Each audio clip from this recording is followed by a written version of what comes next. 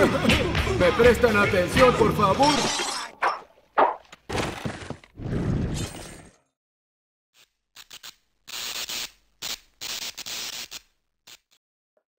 Hola a todos, espero que estén bien. En esta ocasión vamos a ver la solución numérica de una ecuación diferencial parcial parabólica. Aquí les presento el contenido de este video. Vamos a ver primero un breve repaso, un recordatorio de lo que son las ecuaciones diferenciales parciales parabólicas y después procederemos a hacer la deducción de la solución numérica de la ecuación diferencial parcial parabólica. Bueno, a diferencia de la categoría elíptica, las ecuaciones parabólicas determinan cómo una incógnita varía tanto en el espacio como en el tiempo. Recuerden que estas ecuaciones tienen un discriminante igual a cero, donde el discriminante era obtenido con los coeficientes, eh, eso ya lo vimos en el video de clasificación, pero bueno, b cuadrada menos 4ac es igual a cero. Eh, entonces aquí dijimos que nos permiten determinar cómo varía una función que depende tanto de una variable espacial como de una temporal.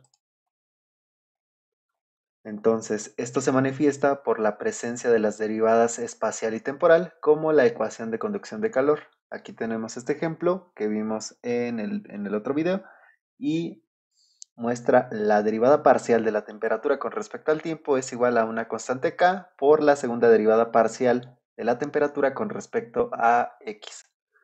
Entonces, Aquí aparece una derivada con respecto al tiempo, es de primer orden, y una segunda derivada con respecto a la posición.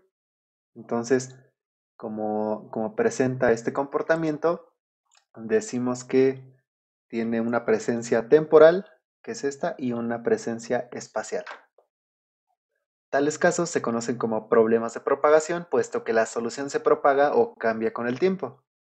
Eh, entonces, podríamos pensar que hay una función que para cada instante tiene un valor en cada, en cada posición y cambiamos el instante, entonces cambia la función.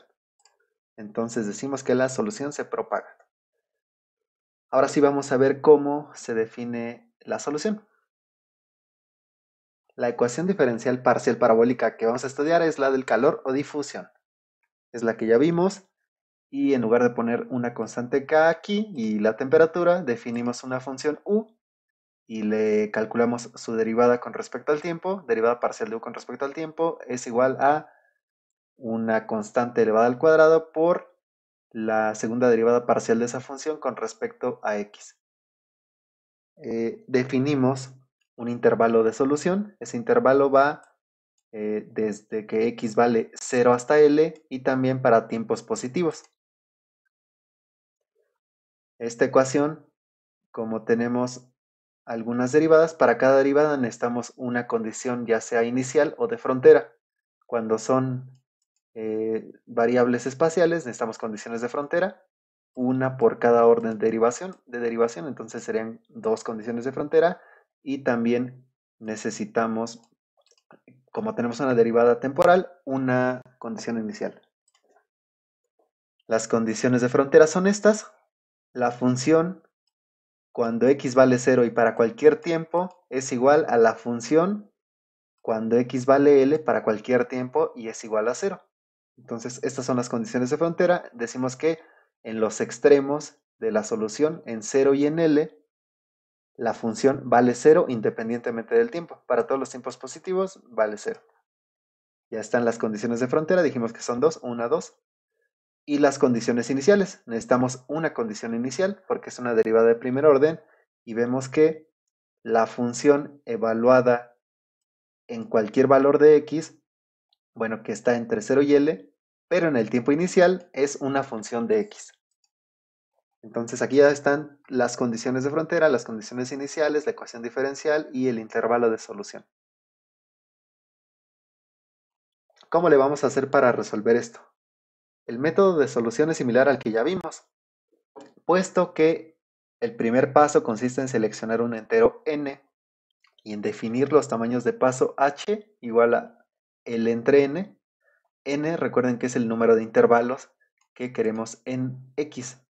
Entonces, eh, en el video pasado teníamos, bueno, en, el método pasado h se definía como eh, un valor b menos a divididos por n.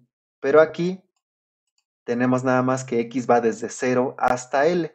Por lo tanto, b menos a sería igual a l dividido por el número de intervalos n y nos da el valor de h. Y con esto calculamos ahora sí cuál es el tamaño de paso en x y para el tamaño de paso en el tiempo o ah, en t definimos directamente un tamaño de paso en k que vale k porque el tiempo lo empezamos a contar a partir de t igual a 0 y cualquier tiempo posterior nada más lo obtendríamos sumando j veces el tamaño de paso k. Ahorita lo vemos en una gráfica, en un diagrama para que lo entendamos un poquito mejor. Eh, bueno, si quieren de una vez, para que no, se queden con la duda. Entonces aquí tenemos un ejemplo de, de, esta, de este tipo de ecuaciones. Tenemos el eje X y aquí hay una barra. Podríamos pensar que esta ecuación diferencial está modelando cómo se comporta la temperatura en una barra en función de la posición X, que está aquí, una coordenada espacial, y el tiempo. Aquí vemos que t vale 0. Entonces, esta es como una fotografía para t igual a 0.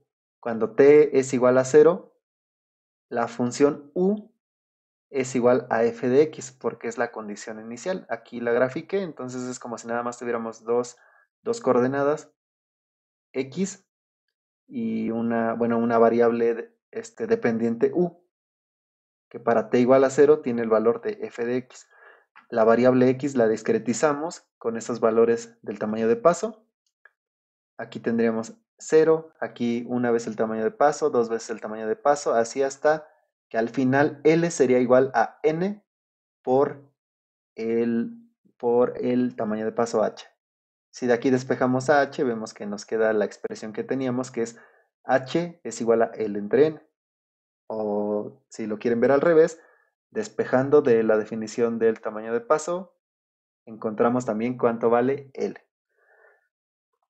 Aquí no, no, aparece como tal el eje T, pero bueno, también podría estar, nada más que si, nos, si lo pensamos como un parámetro, cuando T toma el siguiente valor, un T1, que puede ser eh, K, T, T1 igual a K, esta función f de x cambiaría un poco y así para cada valor de t se iría modificando la función. Lo que nos interesaría calcular es cómo se comporta la función esta inicial f de x o en general u que tiene esta condición inicial cuando t va cambiando con el tiempo.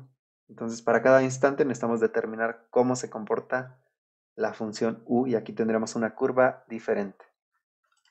Bueno, ya visto esto, regresemos a donde estábamos. Estábamos aquí.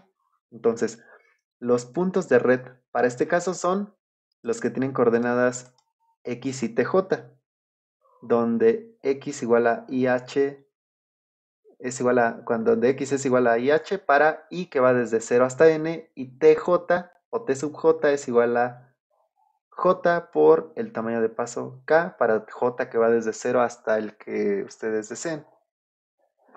Aquí no definimos un valor final porque la solución es válida para todos los t mayores que 0. De hecho, t mayor igual que 0 podría aplicar, pero bueno, en t0 ya conocemos cuánto vale u.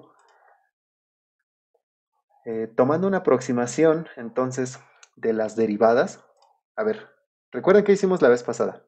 Definimos los puntos de red o puntos de cuadrícula y a partir de allí aproximamos numéricamente las derivadas parciales con fórmulas de derivación numérica obtenidas con polinomios de grado 2. Aquí lo que vamos a hacer es, bueno, a ver, regresemos a lo que tenemos. Tenemos estas derivadas parciales, una de orden 1 con respecto al tiempo y una de segundo orden con respecto a la posición. Para ser consistentes, lo que vamos a hacer es esto. La derivada de la función u con respecto a t la vamos a aproximar con un polinomio de grado 1. Entonces vamos a tomar una aproximación de primer grado para la derivada temporal. Aquí está, ¿cómo se obtenía? Esta es la primera diferencia de u entre el tamaño de paso, eh, en este caso de t. El tamaño de paso de t es k Y cuando tomamos la diferencia, considerando únicamente a la variable t, tendríamos que hacer aquí, el, eh, hacer convertir a t en t sub j más 1 y aquí a t sub j. Entonces, esa es la primera diferencia y si recuerdan, la primera diferencia cuando lo estábamos viendo en el tema de derivación numérica es el valor de la función en j más 1 menos el valor de la función en j. O bueno, o si tiene, o si le ponen la i, pues es, análogo, ¿no? La, el valor y más 1 menos el valor de y. Y eso, si eso lo aplicamos únicamente a t, nos queda esta expresión. Lo mismo para la derivada de segundo orden. Esta es la aproximación, de hecho, que ya, ya utilizamos en, en el método pasado. Porque aquí, cuando tenemos un polinomio de grado 2, la segunda derivada queda como la segunda diferencia entre el tamaño de paso al cuadrado. Aquí el tamaño de paso para x es h, por eso nos queda h cuadrado. Y lo que tenemos que hacer con la función es mm, únicamente tomar la variación de x. Entonces, aquí es el valor eh, de x y menos 1, aquí el de x y, y al final x y más 1. Los t's se, mantienen constantes. De igual forma que aquí para la primera derivada, la x permaneció constante. Entonces, esto ya viene de tema de derivación numérica y continuamos entonces. Ya vimos este diagrama, entonces lo que estamos haciendo es que esa ecuación diferencial la aproximamos como, eh, como diferencias finitas. Entonces en cada una de las derivadas pusimos su equivalente eh, numérico y lo que vamos a hacer es para cada uno de los valores de x, x igual a h, x igual a 2h, 3h, 4h hasta nh, bueno, de hecho en 0 y en NH ya sabemos cuánto vale, ¿no? Vale 0 la función siempre. Pero en los intermedios, en los puntos de red interiores, no conocemos su valor. Entonces vamos a conocer para cada valor de t, en t1, todos los valores de x desconocidos, en t2, todos los valores y así sucesivamente. La ecuación diferencial parcial implica que en los puntos de red interiores, ¿qué pasa? Teníamos nuestra ecuación diferencial parcial, que es esta, y ahí pegamos las expresiones numéricas que, vimos. Y al emplear las aproximaciones se obtiene la siguiente expresión. Entonces, la derivada parcial de u con respecto a t queda de esta forma, esta que está aquí, y el menos alfa cuadrada por la segunda derivada de u con respecto a x, que queda de esta forma. Ahora, veamos qué es lo que desconocemos o que, sí tenemos. Aquí tenemos U, que depende de X, y de T, pero en un tiempo posterior. Nosotros tenemos que recordar que esta expresión se está evaluando en alguno de los puntos de red interiores. Puede ser en, en X, Y, TJ, de hecho es así. Se está evaluando en este que está aquí, en U de X, Y, TJ. Este es el que tenemos que considerar como el que vamos a estar evaluando. Entonces, los demás son los puntos adyacentes. Aquí tenemos el que está a la izquierda en X, a la derecha en X, y el que está acá otra vez es el IJ. Tenemos el IJ, el que está a la izquierda por X, a la derecha por X y el mismo. Pero el que está aquí es el valor de U en la X, en la misma X, pero en el tiempo siguiente. Por lo tanto, ese valor no lo conoceríamos.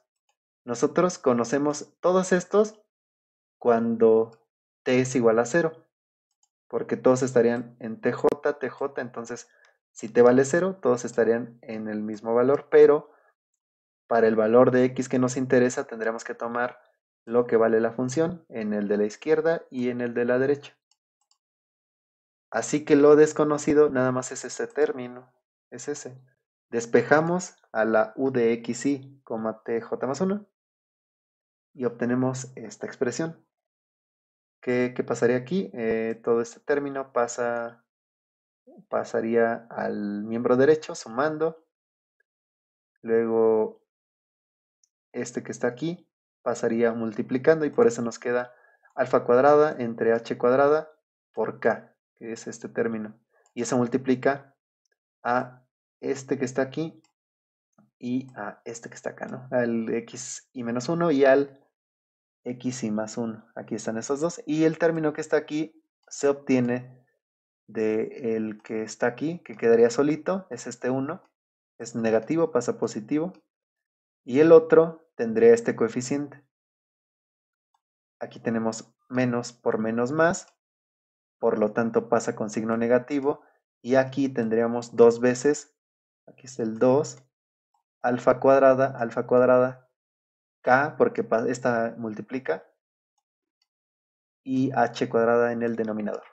Entonces veamos que el despeje es muy directo, es muy sencillo, pero algo que es muy importante es lo siguiente, que si nosotros observamos detalladamente este, esta expresión, no necesitamos resolver ningún sistema de ecuaciones para poder ir generando los valores de u en t j más 1. A ver, no sé si, si quedó claro.